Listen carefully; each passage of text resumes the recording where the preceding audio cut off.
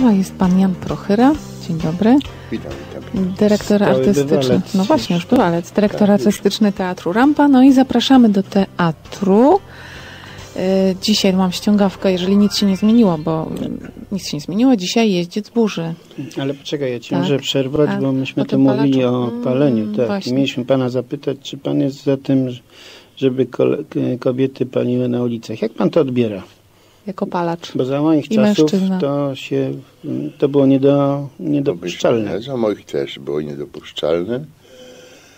E, a ja jako palacz, i to taki powiedziałbym palacz, Namiętny. który chce, tak, ale który bardzo chce przestać palić. Nawet ostatnio próbowałem, nie wyszło. To w ogóle uważam, że się nie, nie powinno palić, a czy kobieta, czy mężczyzna, czy na ulicy, czy nie, to jest druga sprawa. E, Moim zdaniem to jest, e, jeśli chodzi o, wracając do sprawy kobiet palących, to jest nieestetyczne po prostu. No właśnie. E, I tyle. No to się zgadzamy. To wracajmy do W teatrze na szczęście nie wolno palić. To też jest przyjemne, że tam się nie pali. To znaczy są palarnie, albo trzeba nie wyjść. ma. Nie ma, trzeba wyjść na zewnątrz. Na zewnątrz świetnie. i, I pomarznąć sobie. Pomarznąć sobie, Tak. tak jest. przemyśleć sprawę. Mhm. Dzisiaj jest Jeździec Burzy, czyli spektakl, który już od lat jest grany.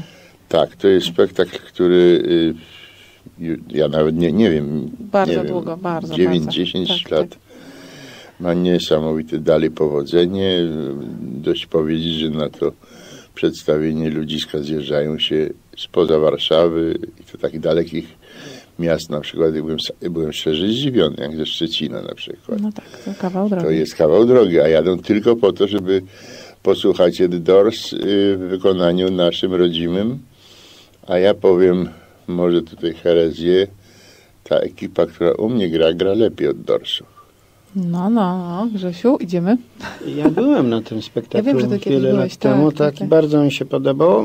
Nie posuwałbym się aż tak daleko, że lepiej, ale, ale no, Momenty są. są, są wspaniałe, tak, tak. To zapraszamy dziś i jutro. Mhm. Y, I potem jest, k- właśnie, w niedzielę Państwo nie grają. Ale we wtorek jest Złota Kaczka dla dzieci. Złota kaczka dla dzieci ze wspaniałą znowu muzyką Piotra Rubika, który wtedy, Komponował muzykę. no, nie chcę powiedzieć raczkowo, bo to byłaby nieprawda, ale zaczynał swoją o, o, o, olbrzymią, olbrzymią karierę. Też już parę sezonów to się utrzymuje u nas. I takie to jest przedstawienie, gdzie, gdzie wydaje mi się, że można statusem na to pójść.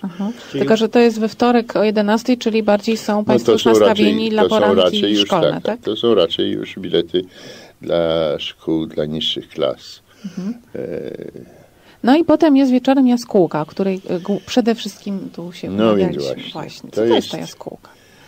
To jest y, adaptacja noweli Iwana Turgieniewa pod tytułem e, Żywe relikwie.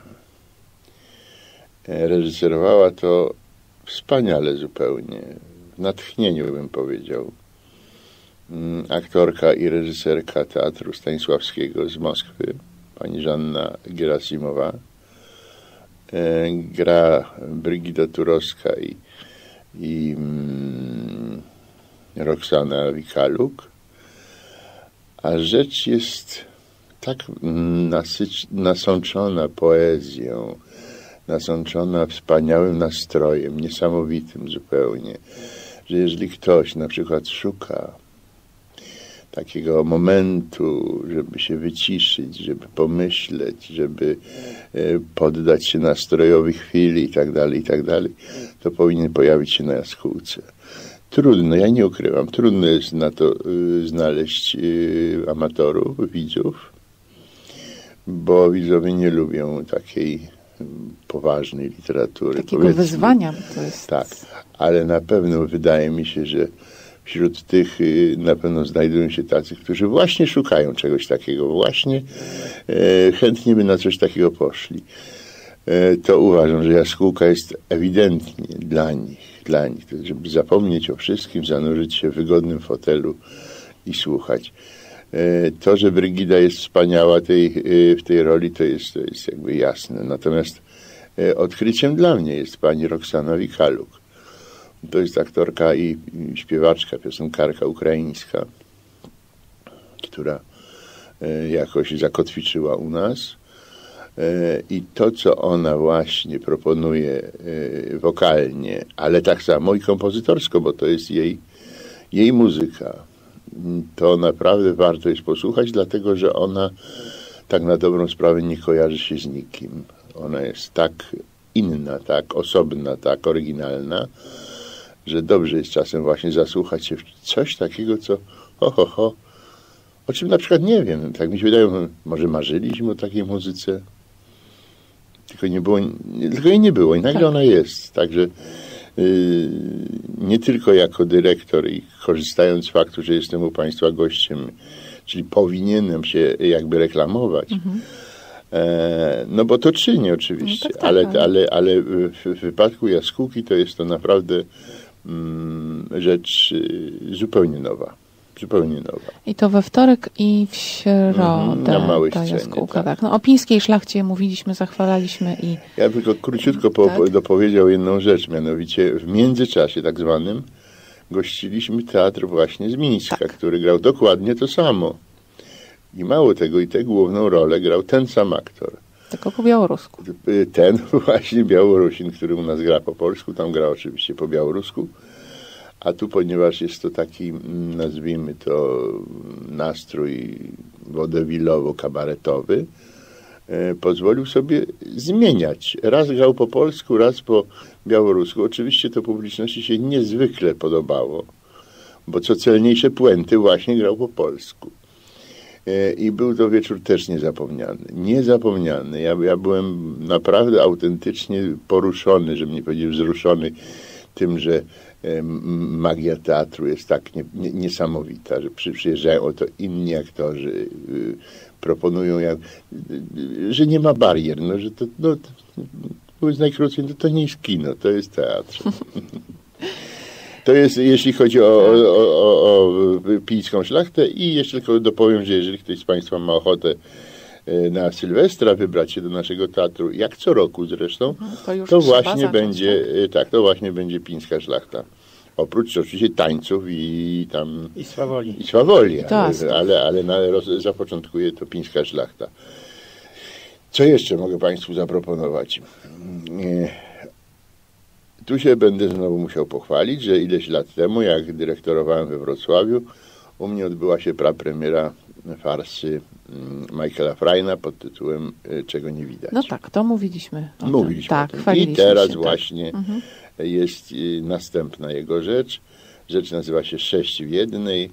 E, nazwijmy tak pół żartem, pół serią, że to jest serio, że to jest y, przedstawienie na kryzys właśnie, bo za jeden bilet można zobaczyć sześć przedstawień. Panie dyrektorze, byliśmy. No. Tak. No i tak, powiem tak, że po raz kolejny przekonałam się, że nie należy się za bardzo nastawiać, bo ja się tak nastawiłam, że będę się tak samo śmiała, jak na czego nie widać, że ja się trochę rozczarowałam, bo aż tak się nie śmiałam. Ale byli nasi przyjaciele też, którzy y, odnajdywali w historiach opowiadanych w tych jednoaktówkach swoje przygody z życia. I na przykład pier w pierwszej historyjce z urządzeniami technicznymi, Tak które jest. nas y, po prostu Osaczają. osaczają. Mnie to nie śmieszyło. Ich bawiło do łez, Bo bo, pewnie oni przeżywają jakieś, y, takie sceny takiego, w swoim tak. życiu. Więc to wszystko zależy od przeżyć odbiorcy i Ja od nastawień też. byłem, e, niestety, musiałem przeleżeć parę dni w szpitalu i tam z kolei, mm, jak to zresztą było Monty Pythona, te urządzenia, które robią ping. Tak. No i teraz jak nie ma takiego mądrego, który wie, co to sobie pinka, no to zaczyna być powoli tragedia. Jeżeli zaczyna być tragedia, to tym samym komedia. No. Oczywiście. Tak, tak.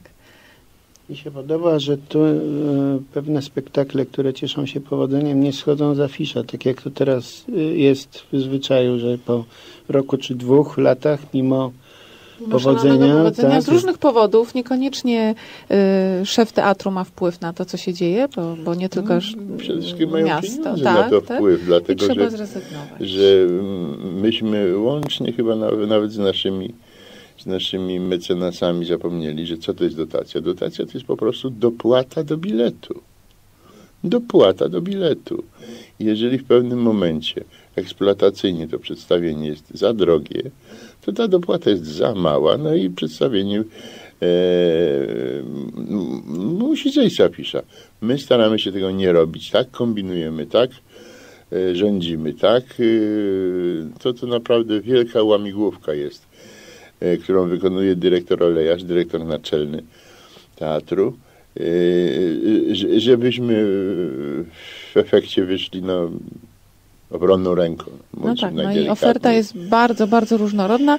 Jeszcze tylko powiem, że y, w przyszłym tygodniu Mhm. jest Świat Bastiana, czyli takie y, ogromne, piękne widowisko jest dla dzieci. Niekończąca się? Tak, to jest... Tak, to jest ciekawostka, dlatego że zaczęło się to od tego, że y, teatr mm, dziecięcy Trintilo korzystał po prostu z naszej sali, z naszej, z naszej widowni.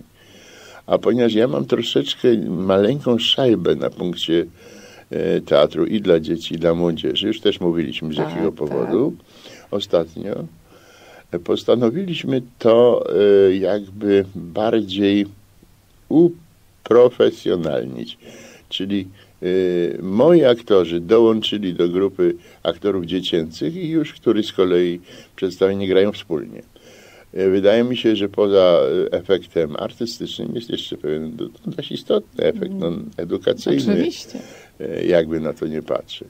A skrócili Państwo troszeczkę spektakl? Czy on jest tak, tak długi jak na początku? Bo pamiętam, jak rozmawiałam z, z rodzicami y, aktorów dziecięcych, które oczywiście to dzieci mogłyby grać i 5 godzin, bo mają taką radość z tego, ale ja jako widz y, miałam poczucie, że jest jest trochę za za długie. długie. Tak, tak. Mnie się wydaje, że y, szefowa tego teatru zrobi wszystko, żeby było dobrze, a przede wszystkim zewrze ten, y, to przedstawienie, ale ono się samo zewrze. Bo ono jest już y, grane No tak, ileś tak, tam tak, razy, oczywiście. także tutaj y, na pewno się coś uszczknie, uszczknie. No a jeżeli będzie dalej za długo, no to jeszcze ładniej ją poproszę, żeby Mhm. wzięła. Proszę koniecznie, jeżeli Państwo się Skróciła. wybiorą, a polecam naprawdę dla całej rodziny spektakl, proszę koniecznie wsłuchiwać się w fantastyczne głosy tych, tych młodych adeptów No, sztuki. Naprawdę młodziutkich. są młodziutki. Młodziutki, młodziutki. bo to Są fantastyczne głosy.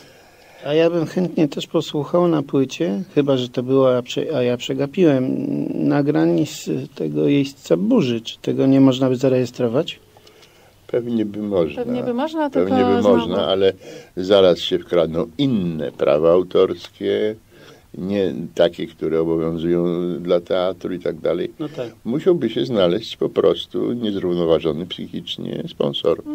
No to apelujemy, może nas słucha, niech się zgłosi do teatru Niech się zgłosi. Tak Tak jest, jest. ja jesteśmy za. Też nie wiem, jak to jest z tymi prawami do e, pisania tekstów do zagranicznej No muzyki. to wszystko jest do wyjaśnienia. To jest wszystko do jest do wyjaśnienia. wyjaśnienia. No i mam jeszcze jedną taką rzecz na koniec, malutką, ale niezwykle taką dość atrakcyjną, przynajmniej dla niektórych. Mianowicie e, mamy taką, taki skarb nasz wokalny pod tytułem Dorota Osińska i wspaniale śpiewającego Roberta Kowalskiego. I im Robert Satanowski zaproponował zrobienie rzeczy tak prostej, że aż zacząłem mu zazdrościć, że to nie jest mój pomysł. Jerzy czy Robert? E, Jerzy, Jerzy. e, Jurek Robert- Tak, Satanowski. no właśnie. A mianowicie, że zrobił przedstawienie z piosenek, które zostały nagrodzone Oscarami. Mhm. No i to jest przecież tak proste jak drut. No ale ni niestety nie ja na to wpadłem, tylko on, ale za to zrobił to u mnie w teatrze. I tam e, od y, początku nagradzania mm, piosen, Piosenki, pio, tak. Oscarami, aż po dzień dzisiejszy oni we dwójkę to robią, a, a Jurek, który to wyreżyserował, również nadał temu pewien taki smaczek i, i dodatkowy sznyt, jakby powiedzieć. No dobrze, to powiedzieć. zapraszamy. Ja umieszczę szczegółowo program i zresztą odesłanie do, do Państwa stron, Mhm. tak żeby nasi słuchacze wiedzieli kiedy, co. A czy tradycyjnie już będą też zaproszenia? Będzie można No się pewnie, No dobrze, no to też podam tak. szczegóły na naszej stronie. A dzisiaj bardzo dziękujemy za, Ja również bardzo, za bardzo odwiedziny. dziękuję. Dziękujemy. Myślę, że tym razem przyjdę tu już za tydzień. Dobra. Dobra. Dziękujemy. Jan Prochyra był naszym gościem.